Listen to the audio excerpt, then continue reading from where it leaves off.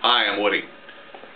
The League of Rock is something that is just uh, a, a, phenomenal uh, experience for uh, just about anybody, from the seasoned uh, guitarist or, or, drummer, keyboard player, whatever it is, or to uh, a novice. Uh, what is really good about this is the coaching that we receive during the practice sessions and you know, some of the things are eye-openers, things that we didn't know before. Other things uh, are just confirmation of the things you already believed and the things that you practice on a regular basis. Either way, it's a tremendous experience.